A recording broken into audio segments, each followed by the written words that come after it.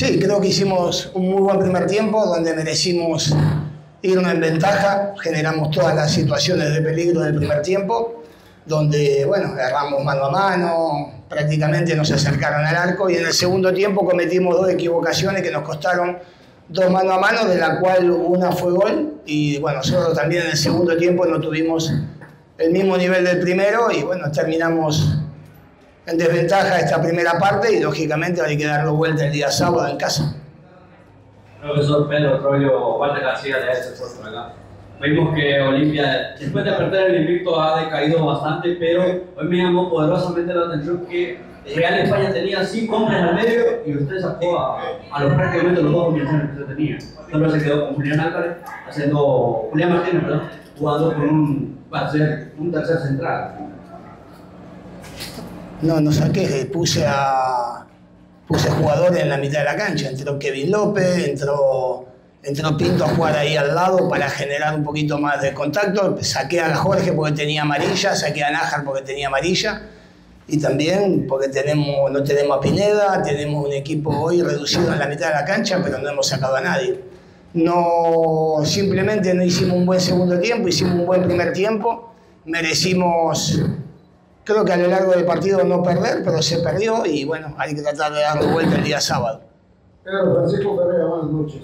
¿Qué pasó? Que se, está, se ha desconectado el equipo, miramos incluso algunas herramientas de jugadores porque sentían como impotencia. ¿Realmente eso No, impotencia no. Este es el mejor equipo de la historia de Olimpia. Impotencia no. No estamos bien. Nada más. No estamos bien.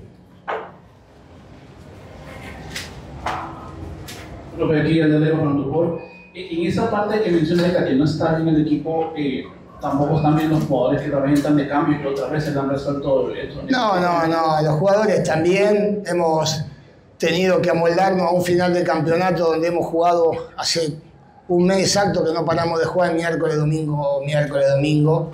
Nos han metido el partido de maratón en el medio y bueno, no, hemos tenido un par de lesionados, un par de, de problemas y le hemos, no le hemos todavía encontrado la vuelta a la situación, pero bueno, el responsable lógicamente siempre es el entrenador, así que nada, ahora hay, hay que tratar de dar vuelta a la historia el día, el día sábado y nada más que eso. No, no, hay, no hay nada para decir, eh, hay un desgaste importante, eh, pasa a veces que, que algún equipo, algunos, algunos jugadores importantes sienten el cansancio, se lesionan, se enferman y bueno, lógico que, que el equipo puede decaer, pero bueno, lógico, habrá que tratar de dar todo el día sábado, poder llegar al sueño que todos queremos y bueno, que termine el año, lógicamente, para volver a acomodarse.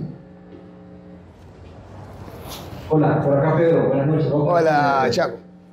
Pedro, hay, una, hay, un tema que me gustaría, usted siempre dice que Olimpia ha sido el equipo anormal durante todos estos años. Hoy Olimpia es más normal de lo que... No, no, no. Lo otro, Pedro, que el equipo defensivamente se ve más vulnerable ahora, no sé si opina lo mismo. Yo creo que no, no, no, no, nos patearon al arco en el primer tiempo. Y en el segundo tiempo lo único fueron errores muy, fueron errores eh, no de, de, defensa, sino errores que se perdieron pelotas. Me parece que no te pateaban. No te, sinceramente yo recuerdo dos tiros al arco que son las dos que le dimos nosotros, los dos mano a mano que dimos nosotros. No hay un tiro al arco. Jugando en la cancha de ellos con, toda, con su gente, te patearon dos veces al arco.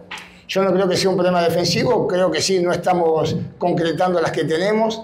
Hay un desgaste importante en jugadores importantes que, que bueno, que se ve, se nota, se ve, se palpa. Este, pero bueno, hay que, hay que volver a acomodarse y jugar el día sábado. Todavía no está terminado, van 90 minutos, faltan 90 más. Creo que podemos también ganar de local sin problema. Y el equipo, a ver, no es normal porque tampoco es bueno perder, ¿no? Lo normal sería perder, ganar es decir, no, no, que de los últimos seis partidos perdimos cuatro, entonces claramente no, no es normal tampoco esto. Este, no era normal lo otro y no es normal esto. Eh, tendríamos que ser un poco más parejos, pero bueno, no estamos bien, no estamos concretando las que tenemos, estamos fallando demasiado. Nos pasó también el domingo pasado con Victoria, nos pasó en Olancho, nos pasó también con Maratón, y bueno, y estamos pagando los errores que cometemos, pero son momentos y todavía estamos vivos. ¿Qué tal? Buenas noches, profe. Gabriela Matamoros para Fútbol de Taza. Profe, tomando en cuenta todos esos elementos que ya nos plasmó, ¿siente que es suficiente el tiempo como para recuperar el equipo, tanto anímicamente como físicamente? Sí, porque el equipo a mí me ha dado siempre muestras de salir de momentos difícil y negativo. A ver, estuviste tres años y medio sin salir campeón y tuviste que ir a jugar y cuando estabas para salir campeón perdés el primer partido de la Pentagonal después de venir de un golpe durísimo en Saprissa y saliste campeón. Es decir, y así te puedo nombrar un montón más de, momentos difíciles y, hemos salido adelante. Este todavía no, no, no, es un momento difícil. Vinimos a perder la primera final y perdimos 1 a 0 de visitante, no 3 a 0. Perdimos 1 a 0. Podemos ganar 2 a 0 tranquilamente de local, porque tampoco el equipo, es decir, hoy generó también en el primer tiempo, entonces no es que tampoco está totalmente, que ahora vamos a ir a jugar el domingo y no vamos a llegar al arco el sábado, no. Seguramente en nuestra casa, en nuestro campo, con nuestra gente, vamos a, generar, seguramente vamos a intentar llevarlo por delante y trataremos de pasar la vuelta.